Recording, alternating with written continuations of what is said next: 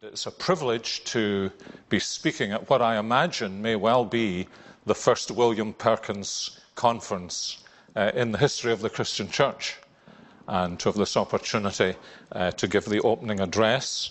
Uh, it's also uh, those of you who go to conferences and speak at conferences know the routine that it's the person who knows least uh, on the subject who is allowed to speak first so that he doesn't have apoplexy listening to the other speakers stealing all the material that he had um, and knowing the other speakers. Uh, this is not, in, in my case, false modesty, uh, but uh, simply the truth of the matter. And so I've been given the opportunity of speaking to you this evening on what seems to me to be absolutely central to William Perkins as a man and as a minister, uh, how uh, he would have thought about himself and introduced himself to us if we had asked him what was special about himself. I think he would have said, I am a plain preacher. That is the burden of my life and the burden of my ministry. So I want us uh, to read a couple of passages from Scripture that will set this in context. First of all, from 2 Corinthians chapter 4 and the opening verses and then from 2 Timothy chapter 3 towards the end and into the beginning of chapter 4. 2 Corinthians 3 through 5, as you will know, uh, is an extended uh, explanation, defense, exposition of Paul's ministry that is under attack in the church in Corinth uh, over against the super apostles he is speaking about the marks of a genuine apostolic ministry. Therefore, since through God's mercy we have this ministry, we do not lose heart. Rather, we have renounced secret and shameful ways. We do not use deception, nor do we distort the word of God. On the contrary, by setting forth the truth plainly, we commend ourselves to every man's conscience in the sight of God. And even if our gospel is veiled, it is veiled to those who are perishing.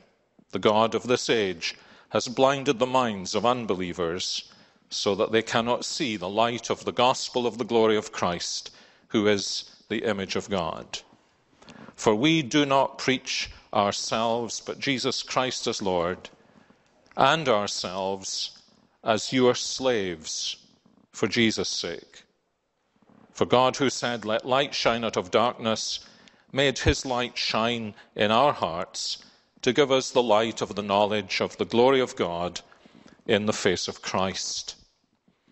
And then very well known words again from the end of 2 Timothy chapter 3 into the beginning of chapter 4, uh, which incidentally is surely one of the um, worst chapter breaks uh, in the New Testament in Paul's letters because it's very clear, linguistically even, that there is a very intimate connection between the end of chapter 3 and the beginning of chapter 4.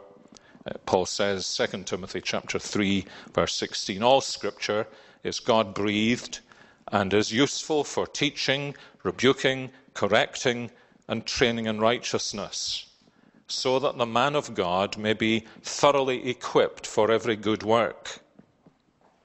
In the presence of God and of Christ Jesus, who will judge the living and the dead, I give you this charge in view of his appearing and kingdom. Preach the word. Be prepared in season and out of season. Reprove correct, encourage with great patience and careful instruction. For the time will come when men will not put up with sound doctrine. Instead, to suit their own desires, they will gather around them a great number of teachers to say what their itching ears want to hear. These words had tremendous relevance in the 17th century. They had tremendous relevance at the time of the Reformation. They have tremendous relevance uh, today. Uh, Paul is saying to Timothy, people will not want to hear preaching. What is the remedy? Preaching. And so there is a very special resonance in thinking uh, this evening about William Perkins as a preacher. So let me, uh, for your help, it's Friday night, it's probably been a long week for you. Let me give you a little roadmap of where I plan to go this evening. Uh, so that if you lose the way a little, or even if I lose the way a little this evening, we will be able to come back and find our signposts. William Perkins dates as you probably know, 1558 to 1604. Therefore, a man whose life spanned uh, almost exactly the Elizabethan era. And I want us to try and think together about four aspects of Perkins, the plain preacher. First of all, to think of him and the impact of his preaching ministry. Second, to think a little about Perkins' understanding of the task of the preacher, what is the preacher about. Thirdly, to look a little at Perkins' emphasis on the plain style of preaching, which he both illustrated and commended. And then, fourthly and finally, to look at what I think of as Perkins' grids, his grids not for those of you who come from the American South, his grits, but his grids to guide all preachers in every age. Begin with the impact of his ministry. One morning in uh, the autumn, the fall of 1990, I was sitting in the office of a seminary professor in Seoul, Korea. He was looking after me as I was there to give some uh, guest lectures. He had to go out on an errand for 15 minutes. He just encouraged me to sit and read in his study. And I espied on the far wall, among the bookcases, three hefty folio volumes. Even from where I was sitting, because the dates were embossed on the back, I immediately recognized these three folio volumes as the works of William Perkins in Seoul, Korea. He returned 15 minutes later, and I said to him, Professor so and so, how on earth, how on earth did you manage to find a folio set of the works of William Perkins? Uh, you could buy them perhaps in England for a king's ransom. You could not buy them in Scotland for any kind of ransom. Uh, they were both uh, almost unknown and they were invaluable. He gave a suspicious little smile. And he said to me, Would you like a set? Now, those of you who are familiar with the Asian culture recognize that the words spoken to someone from beyond the family or the land, which respond to a comment of admiration, the words, would you like, are some of the most difficult words to negotiate. Some of you have foolishly admired the ties of gentlemen in the Far East and found yourself faced with a man who suddenly is tieless and you have his tie in your hand. And I found myself in some difficulties. I don't think I was quite coveting this set of William Perkins, but uh, I tried my best and uh, I said, as unnuanced a way as I could muster like a set. He said, Would you like a set? I said, Like a set? he said, I can get you a set for $90. $90. In those days, by the exchange rate in 1990, that would have been about 50 pounds. Much cheaper than the first four volumes of William Perkins, incidentally. oh, he said, I can get you one this afternoon. He went round the corner to a back street printer in Seoul, Korea, and brought me back a bound, reproduced set of the works of William Perkins for $90. It was a kind of stunning expression of the impact of the ministry of William Perkins. That here in another part of the world that spoke another language, uh, it was possible to do what you couldn't do in the British Isles purchase a set of the works of William Perkins. And yet, in some ways, uh, given the fact that this was the late 20th century, that was not to me the very best illustration of the impact of Perkins' ministry. The best illustrations of the impact of Perkins' ministry came much more proximate to his life. His impact on Richard Sibbes, for example, who, when he heard the bell toll over Perkins' death, rejoiced in heart uh, and naively that his conscience would no longer be pricked by the very presence of the man and the ministry of the man here in Cambridge. And Sibbes, of course, was to be drawn himself to Jesus Christ and to have this extraordinary influence among the Puritan brotherhood, uh, so many of whom, in one way or another, would trace their lineage back to William Perkins.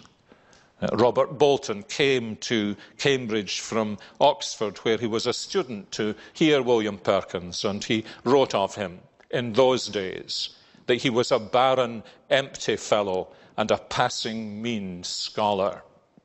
But it was not long before he would also write of William Perkins because of the power of his ministry, that he was as learned and godly a divine as our church hath for many years enjoyed in so young a man.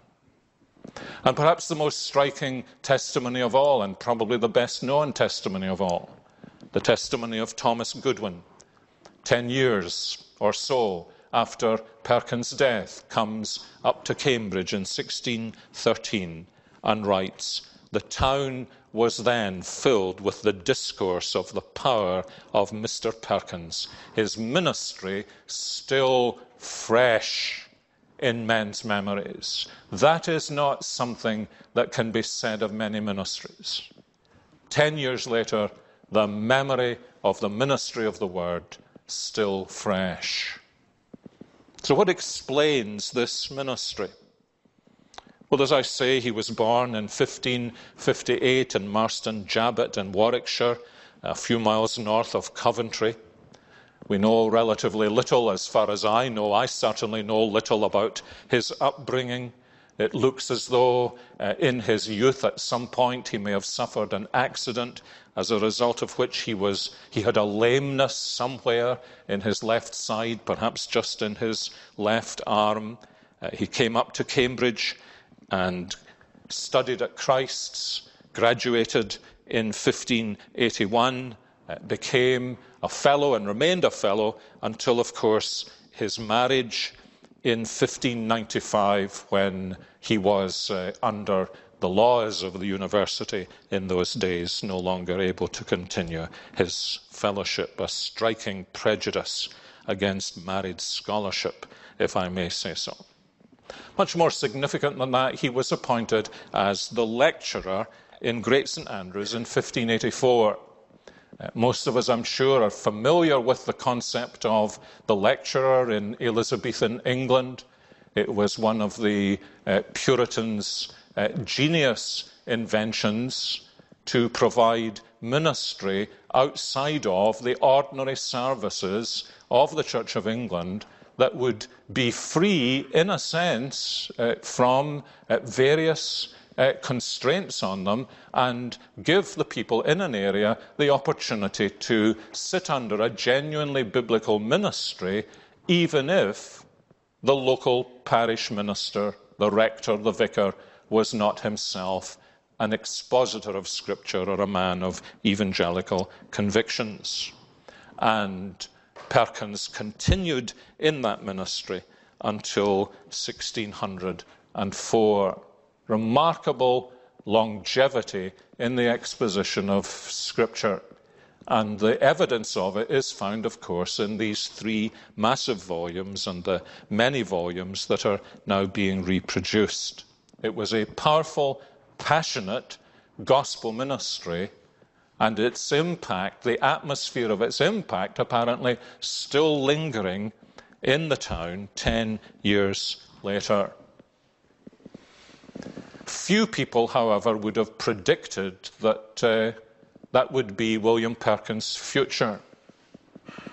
I remember a girl in a church in which I ministered coming up to me very brightly because she had met at a bus stop a, a Sunday school teacher of my childhood who, discovering where she went to church, informed her that Sinclair Ferguson was, of all boys he had ever known, the least likely boy to go into the Christian ministry.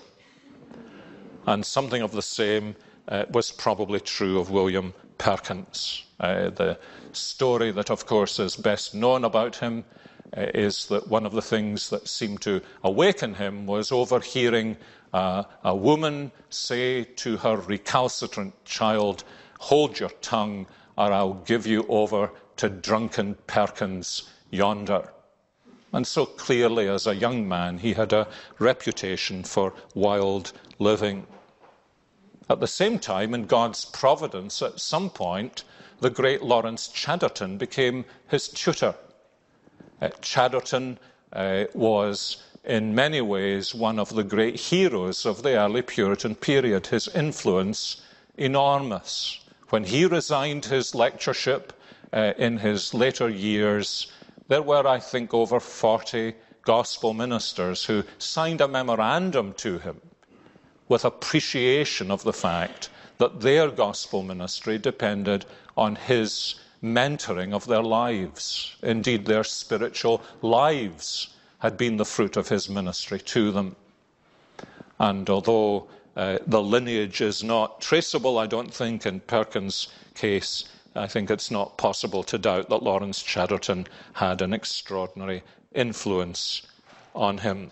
But by whatever means, Perkins was brought to a living faith in Christ, and he began to do the kinds of things that zealous, young, evangelical, Puritan minded ministers did. He sought to evangelize, to evangelize the poor, to evangelize the prisoner, to evangelize the condemned. And at 26, uh, as men of discernment saw the maturing of his Christian experience, he was given this appointment as a lecturer, an indication, surely, at that age, of both his abilities and of his spirituality. And as I say, his influence was to prove immense in the Puritan Brotherhood. His tutoring of William Ames, one thinks of Ames and the, the chain of influence on Johannes Cocceius, his influence on Sibbes, and the influence that Sibbes himself then in his ministry would have in his preaching ministry, personal ministry, written ministry, on people like Baxter. Uh, the way in which uh, this chain touches John Cotton, the way in which John Cotton's life uh, along with Sibbes' life, touches Preston and touches Goodwin and touches Owen.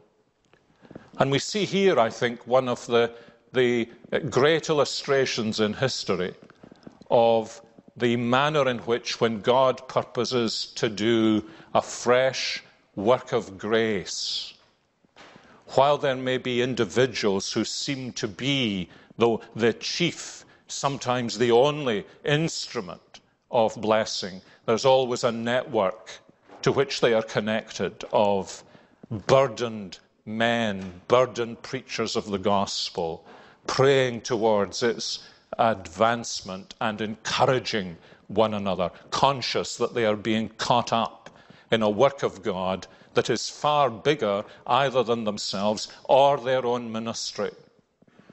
And William Perkins stands in so many ways at the fountainhead of this. And the fruit of his ministry, as I say, is in these three massive folios. He is, of course, best known for some of those works. Uh, for his great work, The Greatest Case of Conscience, which deals, in his view, with the greatest question of all. Uh, how do you know that you really are a Christian believer? His exposition of the Sermon on the Mount, the best loved, least read, and least understood part of the best loved part of Scripture. Most people who say, I don't have much time for Paul, but I love the Sermon on the Mount, cannot possibly have read the Sermon on the Mount, cannot possibly have listened to the sermon to the end. And so, this is a passage of Scripture in which uh, Perkins, in a profound way, uh, expounds the gospel, his exposition of Galatians, and perhaps the book for uh, which he is kind of best known because of the title, The Golden Chain. And certainly in the scholarly world, as far as it has dabbled in Perkins, I mean the scholarly world that tends to be criti- critical of the evangelical tradition, the, the one thing that the scholarly world knows is William Perkins' ocular catechism itself a kind of genius idea. Um, drawing on Theodore Beza's work, but putting into visual representation how the gospel works, tracing the, the causes of salvation and damnation from eternity to eternity.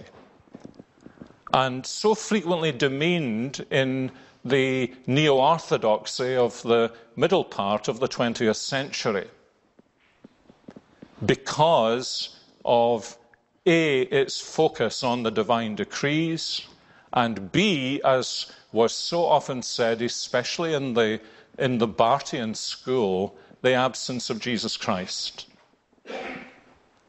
Talk about not read the Sermon on the Mount to the end. One only needs to look at Perkins' ocular catechism to see plainly the spine down the middle of the whole picture is Jesus Christ Himself in His two states, in His three offices, and the way in which every aspect of the application of redemption is found in Jesus Christ. And so uh, we can, I think, be confident in saying that William Perkins was a profoundly Christ centered preacher. Actually, one of the most staggering uh, promoters of that idea uh, is John Bunyan's version of the same. His map of salvation actually is surprisingly lacking in its focus on Jesus Christ, in his humiliation and his exaltation, and in his three offices. I'm sure if you asked uh, John Bunyan, if he had done that deliberately, he might well say, You know, I am ashamed to say I didn't even notice that. But we do think about Bunyan as Christ centered, don't we? Even those scholars would compare Perkins with the great Bunyan. And yet it is Perkins who focuses all of our attention on Jesus Christ. And as we will see before we conclude this evening, Jesus Christ was the heartbeat of his ministry. Well, let me turn secondly to William Perkins' understanding, in the light of this, in the light of his own experience, his understanding of the task of the preacher. Uh, tomorrow, I'm sure, much will be said about Perkins the theologian. I do not mean to distinguish Perkins the theologian from Perkins the preacher, but what we are looking at here is not Perkins in the architect's office, but Perkins in the hard hat site of ministering the gospel to men and women.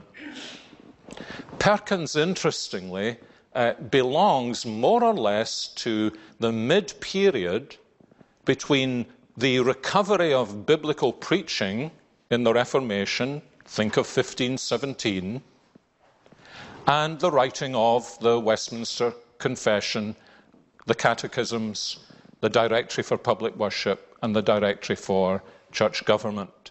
1517 through 1647. And he kind of spans the, the middle period.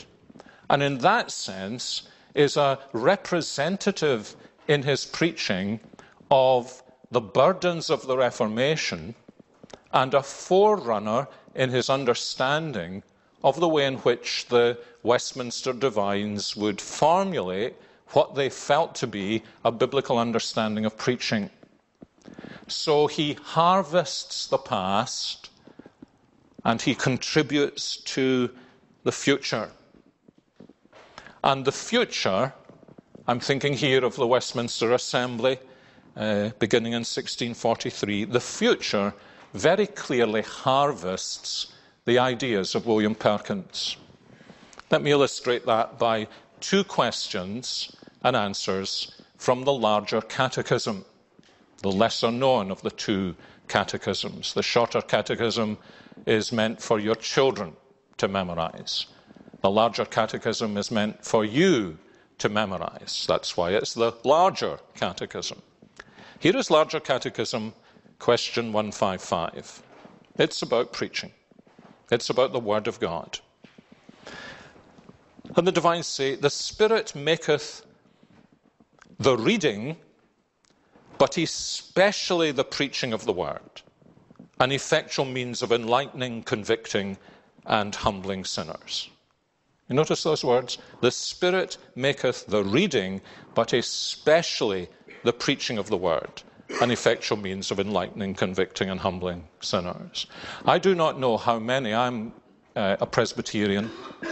Um, I've been at many presbytery examinations of candidates for the ministry, of men moving from one church to another. And the question always arises do you have any exceptions to the standards? I am yet to hear a candidate for the ministry or any minister take an exception to Larger Catechism 155, and I've sometimes wondered why they haven't. Do you really believe that the Spirit especially makes the preaching of the word effectual for salvation. Well, why would one not? And I rather suspect the answer would be this because I have no personal experience of that through my own preaching.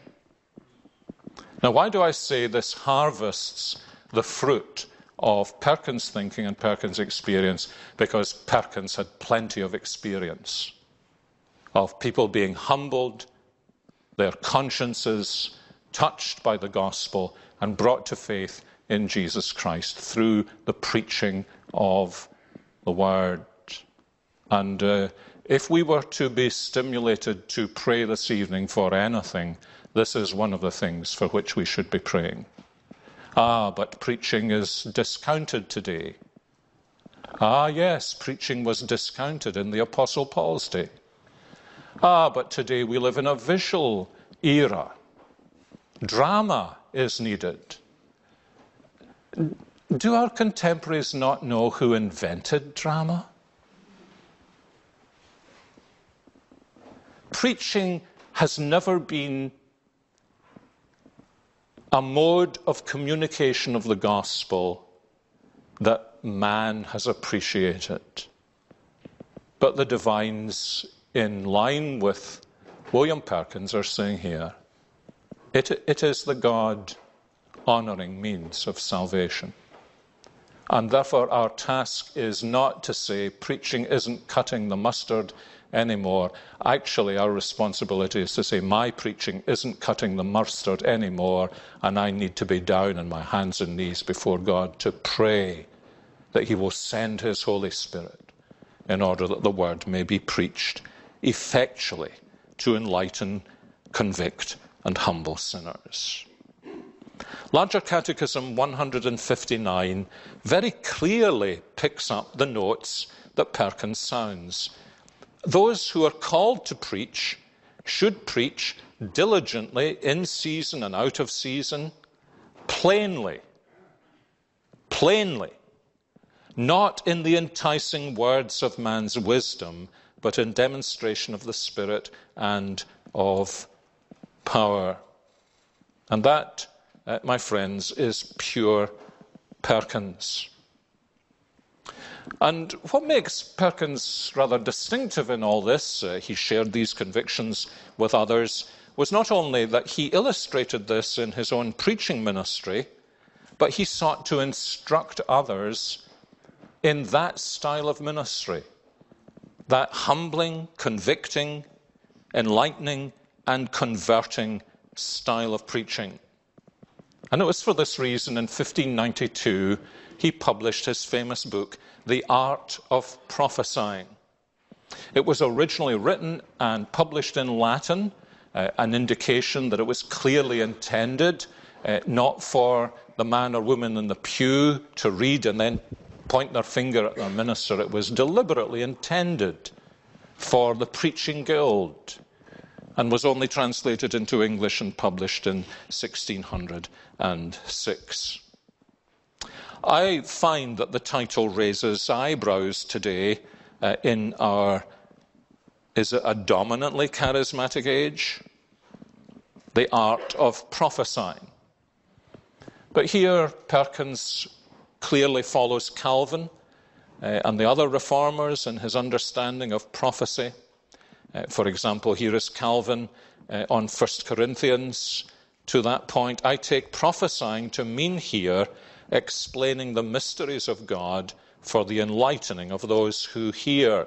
And if you examine the prophetic ministry in the Old Testament, it carries such a wide range of nuance that uh, it certainly seems to me that Calvin, in this context, is quite right. Prophecy is not dominantly the foretelling of the future, but the forthtelling of the mysteries that God has revealed in His Word. And this was the notion that gripped William Perkins. God has placed these mysteries in His Word. My task, as it were, is to pull away the curtains and say, Behold what God has done. To pull the Word up before the people that they may be surprised by the grace of God that overturns all their natural expectations. And it's fairly clear to me from my limited knowledge of Perkins that Perkins had really grasped the importance of this principle that if the preaching of the word doesn't surprise the preacher, it's not going to surprise the congregation. And if the congregation are not surprised by the word of God, then they have lost its central significance. They have come to assume that, of course, we are the kind of people who would be saved by grace. What is so surprising about that? The moment we cease to be surprised by the Word of God is actually the moment that we have ceased to take into our souls what the Word of God is actually saying. And Perkins is full of this notion of the way in which the Word of God takes us, and because it takes us by surprise, it shakes us. He understood from the lives of the prophets that there were two dimensions to the Old Testament prophetic ministry. The Old Testament prophet was a man who preached, and he was no less a man who prayed. And he saw that these two things belong together. He saw that when the apostles themselves say in Acts 6 4, we must give ourselves to prayer and the Word of God, that was not an accidental connection, nor was it accidental that the order was prayer and the Word of God. That these two things so belong together that without both of them, there never will be a genuinely prophetic ministry that opens up the mysteries of the gospel and of the Word of God. But God has given us means by which, as preachers, we are intended to do this. And the means essentially are the hard work of exegesis and the even harder work of application the hard work of exegesis and the harder work of application.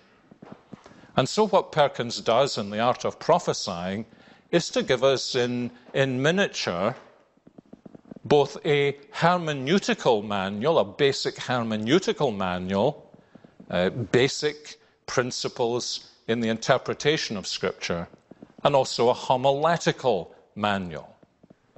When we translate or transpose exegesis into preaching application to the mind and to the conscience. And these two things cannot be separated the hermeneutics and the homiletics, the exegesis and the application. And of course, he roots this in the closing verses of 2 Timothy chapter 3. Granted, this is a great place to land for thinking about the authority of Scripture because it is theopneustic, God breathed. Paul's point in 2 Timothy 3 is to say that it's precisely because of its nature that it's given for certain reasons, and therefore the preacher is to employ the Word of God in order to pursue the very reasons for which the Word of God was given. And Perkins' conviction is this that since such passages emphasize that Scripture by nature is both perfect and pure, that conviction becomes the groundwork of the authority of the preacher's ministry. That without that conviction, the authority of the preacher's ministry is thereby diminished. May say a personal word here. I was wonderfully helped as a, a young Christian whose parents did not attend church. I did not have a Christian background, and they did not attend church until after I became a Christian believer. And I had a minister who was a great help to them and a great help to me. But once he saw my convictions developing, he became a little nervous. And I'll never forget him saying to me, Sinclair, your view of the inspiration, infallibility, inerrancy of Scripture does not really make a great deal of difference to your preaching. And I believed he was wrong from Scripture. But I had no evidence from experience until I had the experience.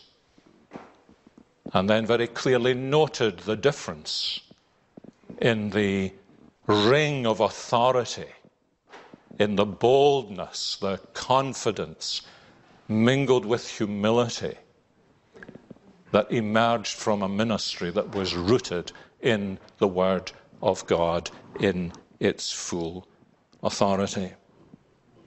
Now, Perkins did not believe that a conviction about the perfection and purity of Scripture itself guaranteed that our exegesis was correct. He was too sensible a Christian reader of the Bible to confuse these two things. But he did emphasize that without this conviction, there would be a lack of authority. It's only if there is an authoritative word from God that he believed the preacher can actually preach with authority. And this made a tremendous difference to his ministry and makes a tremendous difference to, to any ministry. I mean, that's actually simple logic, never mind uh, theologically true. There's another element to all this in which I think uh, Perkins is actually harvesting the understanding of the uh, early reformers.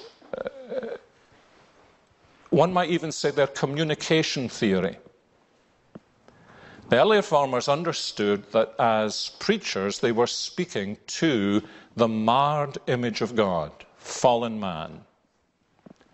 They were not minds addressing minds, they were men addressing men and women.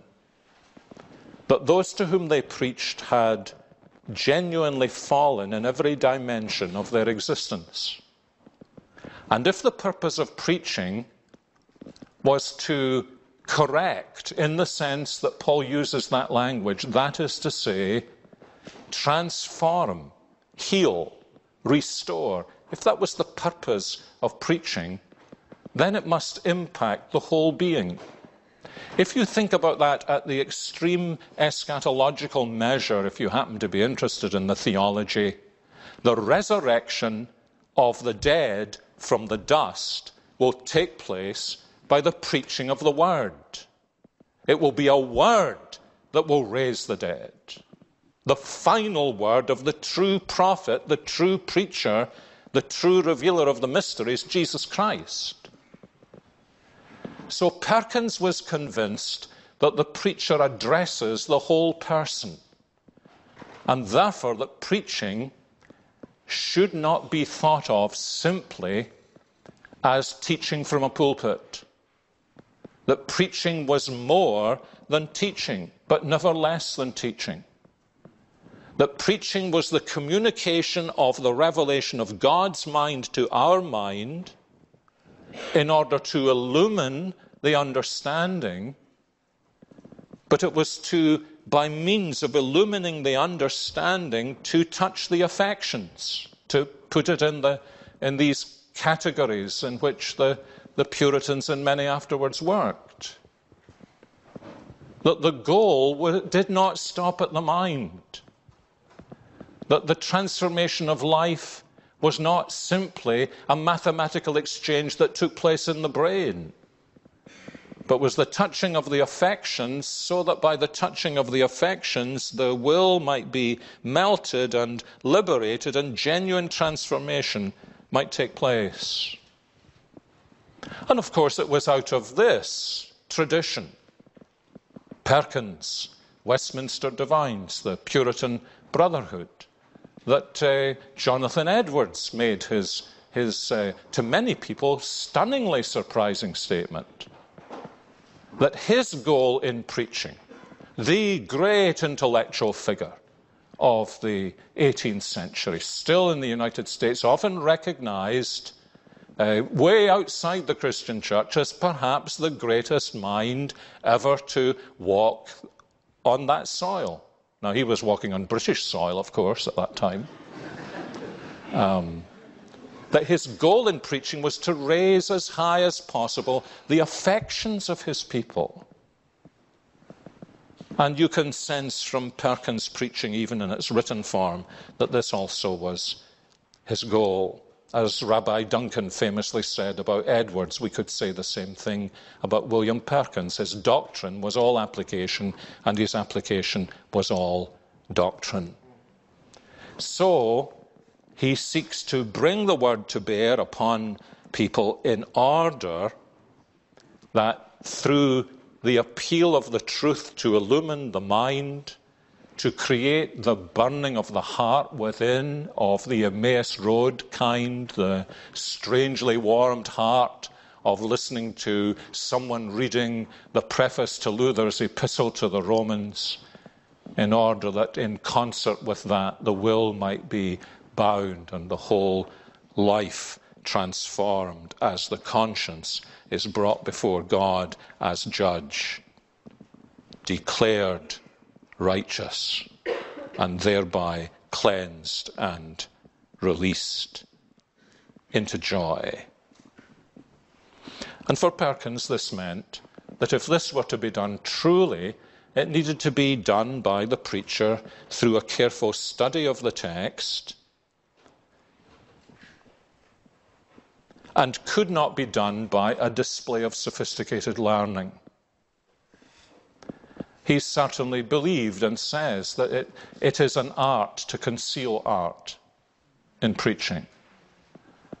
And this belongs to the foundation of the plain style. Uh, the plain style draws on 2 Corinthians chapter 4 that we never proclaim ourselves, but Jesus Christ. And that our posture, as Paul says in, in what in many ways is a rather paradoxical statement in 2 Corinthians 4, isn't it? We don't preach ourselves. And then he says, Ah, yes, ourselves. You are slaves for Jesus' sake. You are slaves for Jesus' sake. So for Perkins, this is the posture of the preacher. The posture of the preacher inwardly is, I am your bond servant for Jesus' sake. There is, therefore, in Perkins' understanding of preaching, a kind of humiliation that takes place in the preacher as he preaches. Self exaltation must go because God must be glorified. And so it isn't that Perkins is uh, one of those type A personalities who delights to rip up the consciences of his hearers and exalt himself above them, nor to impress his hearers by his learning, to show his superiority.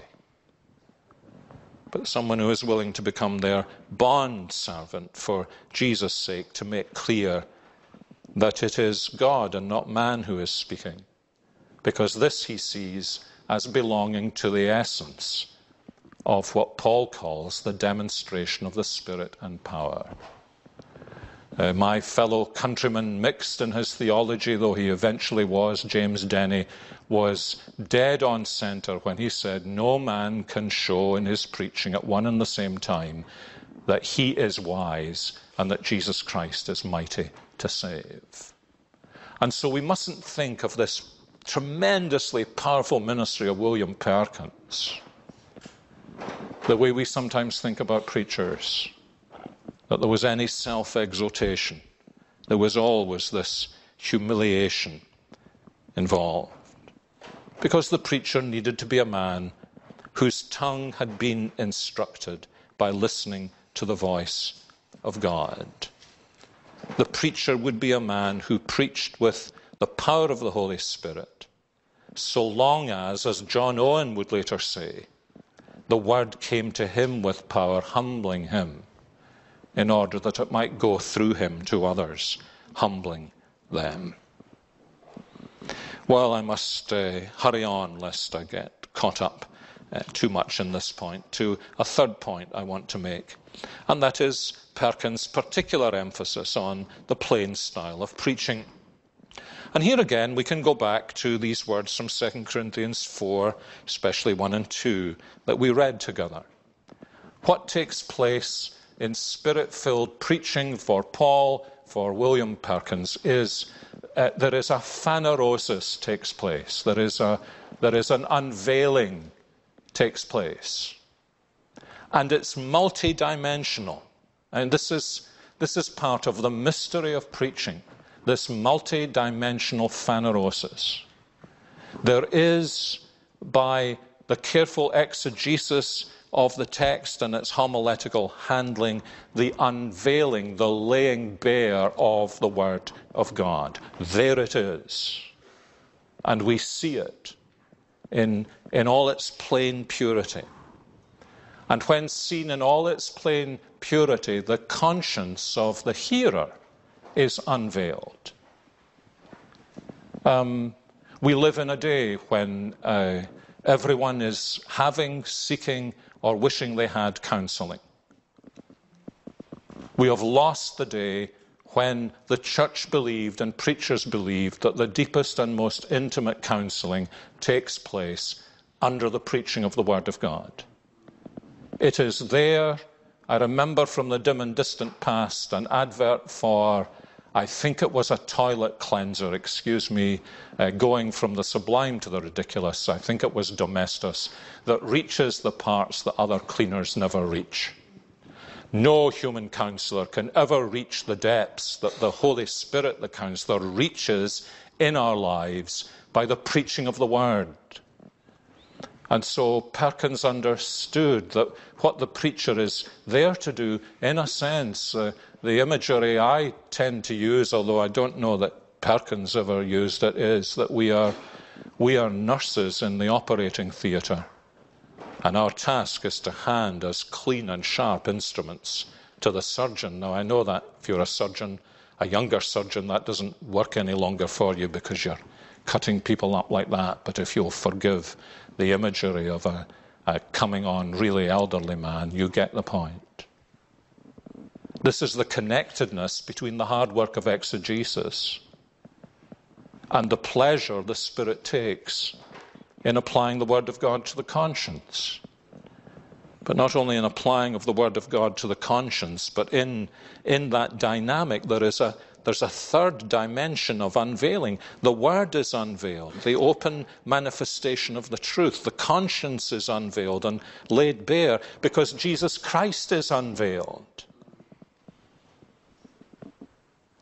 And this should be, this was for him, as I will eventually show you, and should be for us, the, the heartbeat of our prayer for gospel ministry, if we are not ourselves gospel ministers, and if we are gospel ministers, this should be the heartbeat of our ministry.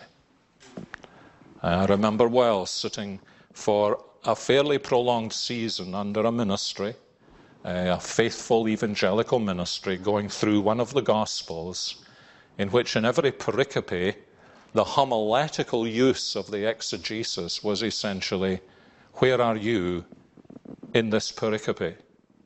And I found myself saying again and again, I am not in that pericope.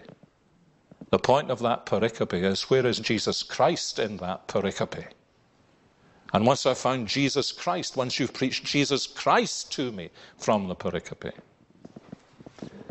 and to, a, to an amazing degree, our generation has fallen prey to the individualism, the subjectivism, the, the project of the self with which our world in the West is now awash. Perkins comes like domestos to us, and he wants us to preach Christ. And you see, that's the harder part of the exegesis and the application, because we're sinners. And it's five times easier to have blood on the back wall of the church because you have ripped up the consciences of people than so to preach Jesus Christ that people are drawn to him in faith and see his majesty and glory and splendor and power. And so this for this for Perkins is the is the third dimension of the phanerosis, but there's a fourth dimension of the phanerosis, and actually it's I think it's related to the sense of uh, uh, humiliation and unworthiness that preachers experience. And that is that the preacher himself is unveiled. The preacher himself is unveiled as he exhausts himself in the word into the people. And this is perhaps the supreme difference between thinking about preaching as teaching and understanding that when we preach, we preach not only ourselves with Jesus Christ. We say, I'm giving myself to you with Jesus Christ. That's the way he is pleased to communicate through his word. And this is the apostolic fashion. We not only gave Christ to you, we gave ourselves to you. And you see, without that, this is, this is one of the reasons why the Puritan spiritual life was crafted the way it was, because without that, we produce a congregation of people who feel that they are well instructed and do not realize often that they have been very undernourished. There is a difference between educating your children and feeding your children. And Perkins clearly and wonderfully grasped it. And that element of self giving that is always present where there is genuine pathos in ministry was clearly evident to his hearers uh, in Perkins' ministry. um, Thomas Fuller that says about Perkins listen to this. He could pronounce the word damn with such an emphasis as left a doleful echo on his auditors a good while afterwards. Was that because he shouted? No, it was because the, the self giving of loving concern for lost sinners was being given to lost sinners in the very way he enunciated his words. This for Perkins, rather than the so called witty preaching of the 16th and 17th century, was the great issue. Because the goal of preaching, he saw, was not the uh, aesthetic pleasure of the hearers by the employment of rhetorical devices, but the eternal destiny of the hearers that gave this sense of pathos to his preaching. I do think this is something to say to us uh, today. Uh, some bright young student somewhere is bound to write a doctoral dissertation on the transformation of descriptive language in relationship to evangelical preaching in the 20th and 21st centuries. Uh, the, the, someone in the United States did a most interesting doctoral dissertation on the transformation of political rhetoric in the United States from the beginning of the 20th century towards the end. And it was a, it was a real analysis of a transformation that had taken place in rhetoric because of the transformation that had taken place in culture that hardly anybody noticed. One of those, the word that is so often used to describe preaching today, the talk or the teaching. We will worship for half an hour, and then Pastor Joe or the Reverend John or Willie will come along and he will give his talk or he will teach us. I think William Perkins, if he were present, would say, Is that all I'm going to get today? Am I just going to be given information in my little talk? Is there not more to Jesus Christ than information? Is he not a person? Is he not to be given to me in the gospel? And in that sense, Perkins is very much the fountainhead of what for so many years were the characteristics of evangelical preaching. And so, for him, like the later Westminster divines, the instruction of the mind to bring illumination involves the application of the truth to the conscience, appeals to that conscience, exhortations, dehortations, not simply instruction about how you solve the puzzles that you see in the Bible, but a word that gets to the affections and brings you to a new sense of devotion and love to the Lord Jesus Christ. Well, I'm in danger now of um, testing your patience, so let me move finally to the fourth point. And that is where Perkins seeks to help us. And so, fourthly, I want to think for a few minutes about what I've called Perkins grids to guide all preachers. Perkins grids. Certain danger in being Scottish, speaking to a half American, half English audience here. Grid. I hope you understand what I mean. I was uh, educated theologically in an arena where there were no lectures on preaching. I think it was supposed that you caught preaching by some kind of strange osmosis. And being nurtured in that context, I thought of preaching grids as dastardly inventions of nasty American professors of homiletics to give them something to do. The idea that your fellow students would sit there with a grid and tick them off and, and put you in a box and so on. I, I found rather horrific until I realized that actually the Lord Jesus used preaching grids. And the Apostle Paul had preaching grids, and William Perkins certainly had preaching grids. Jesus' preaching grid, it's the parable of the sower, isn't it? You're always going to have these four kinds of soils if you're a gospel farmer. Paul's preaching grid, well, it's there in 2 Timothy 4. The word is given for this, so use it for this.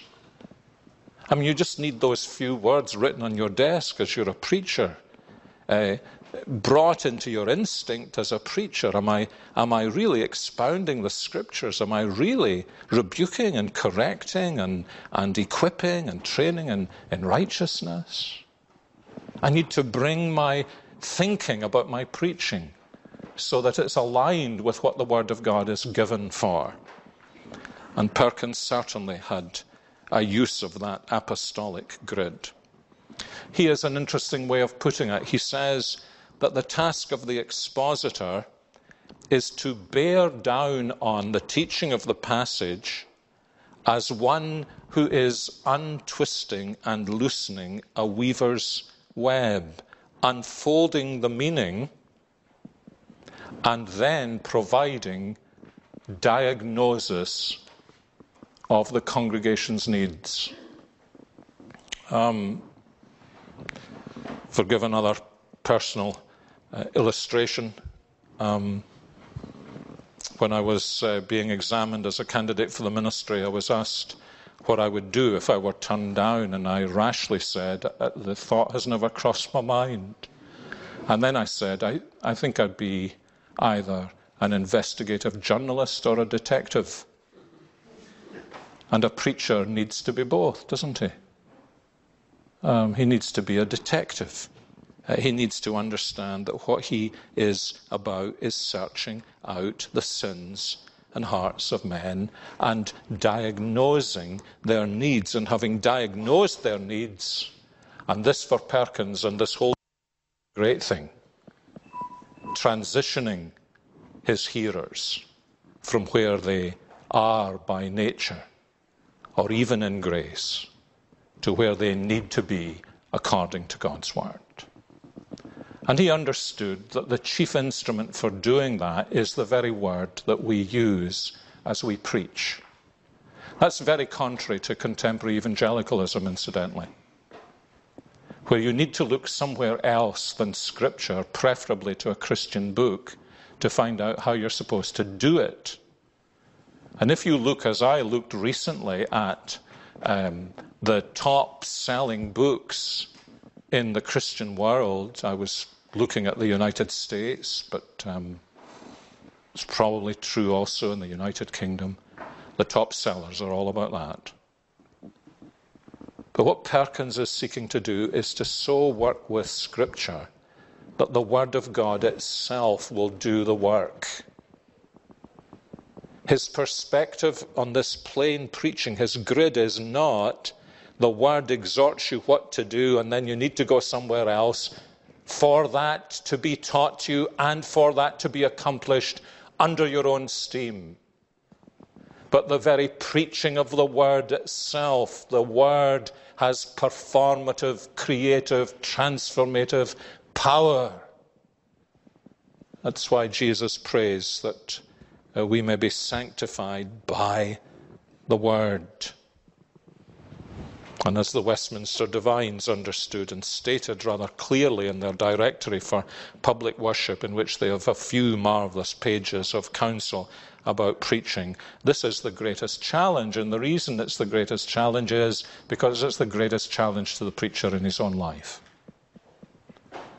The transition from what the Word exhorts us to be to become that by the power of the Word of God through the Spirit transforming us into the likeness of Jesus Christ as we gaze upon his face in the Word of God.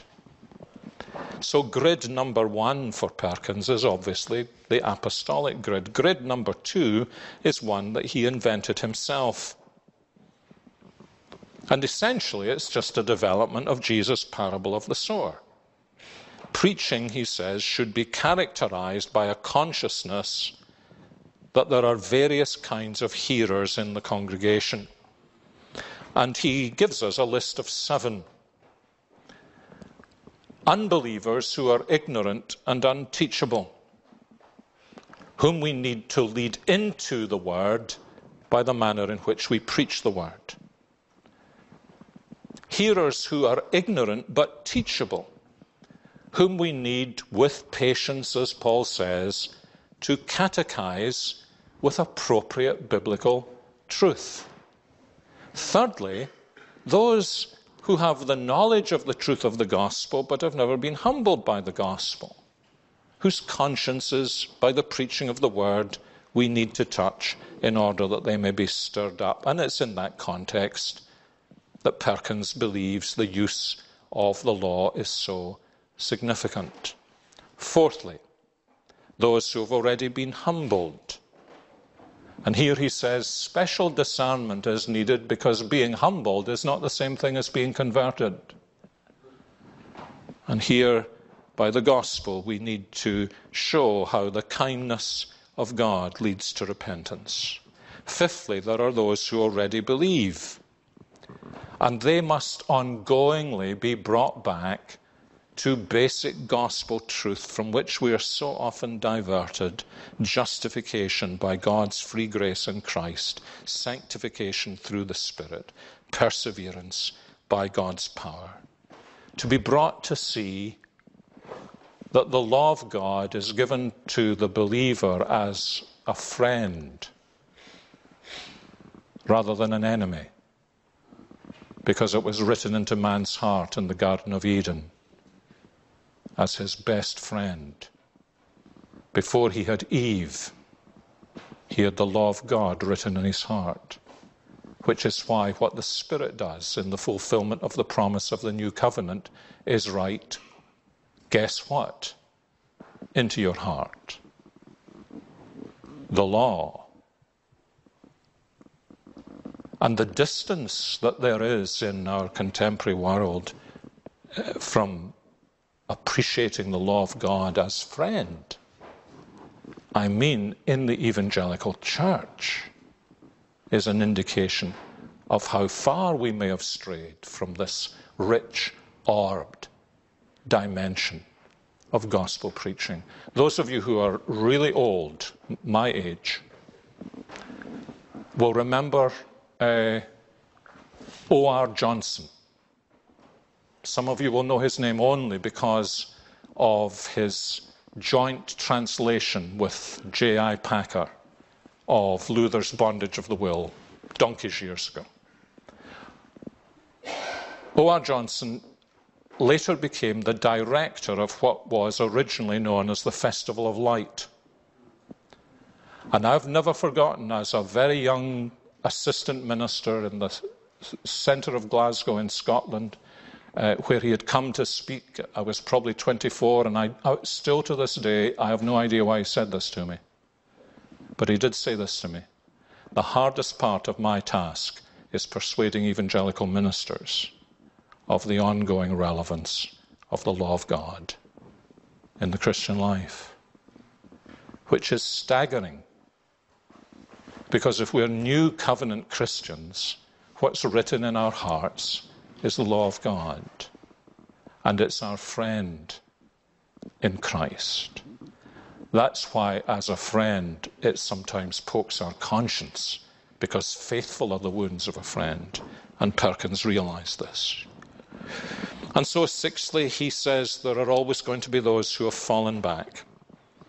And again, we need both to diagnose the causes of that backsliding and learn the various prescriptions for that backsliding. Uh, not least, he says, uh, the exhortation of James that we confess our faults uh, to one another. Not that he is reinstitution, uh, confession, or penance as sacraments but because he understands that's how the body of Christ functions, because the Word of God functions within the fellowship of the body of Christ. And so he holds this great truth out. Teach your people that all sin, except the sin that refuses to see in Christ salvation, every sin is pardonable, that grace is promised to all who believe, and that sin can never abolish grace, and even to comfort them by teaching them. Remember how the Puritans loved to use this picture of the inner workings of a watch or a clock where things seem to go in different directions in order for the clock to tell the right time and say, so it is with the purposes of God. He is able to turn even evil into good. And then, seventhly, he reminds us that congregations will always have both believers and unbelievers. Always. And so he summarizes all this in closing the art of prophesying, encourages preachers to read the text clearly from the scriptures, to explore the meaning of it once it has been read in the light of the scriptures themselves, to gather profitable points of teaching from the natural sense of the passage. And then, as the preacher is gifted, and preachers are variously gifted, to apply the teaching thus explained to the life and practice of the congregation in straightforward, plain speech. Uh, most of you will remember how John Stott used to speak about a double listening. Listen to the word, we listen to the world. Perkins certainly believed in a double listening, but as we saw at the beginning, he also believed in a double speaking. That the prophetic ministry of the gospel involved the preacher speaking to man on behalf of God, but also speaking to God on behalf of man. And perhaps this is why Thomas Fuller was also able to say about Perkins his sermons were not so plain, but that the pious learned could admire them, nor so learned, but that the plainest did understand them. And the explanation of this well, he tells us himself, even although it's taken me a long time, and thank you for your patience in getting to it. He says, The heart of the matter is this preach one Christ, by Christ, to the praise of Christ. And so, if we are ministers of the gospel, let's commit ourselves to that. And if we have a ministry of the gospel in our fellowship, let us pray that this will be true of all those who minister the word to us. Let's pray. Lord, we thank you for the opportunity to think about the past, to learn from the past. Uh, we thank you that you have taught us that we see your attributes more clearly together with all your people. And we pray as we as we try to see uh, what you do through preaching, not only by reference to one another and to living examples, but by looking back to see what you gave to the church in the past, with whom we are connected as, as brothers and sisters. We pray that something of the same passion, and yes, this same fruitfulness, will re emerge in our own time. Not least do we pray for in this town, as well as many other towns where there are, where there are young men preparing for gospel ministry, that you would make them a brotherhood, that you would fill them with your word, that their ministries might be marked by the pathos and the surprise of the gospel of Jesus Christ, and that you would not only in your grace give occasional fruit, but that it, it may be a fresh experience, that especially the preaching of the word is made effectual to salvation. This we pray in Jesus' name. Amen.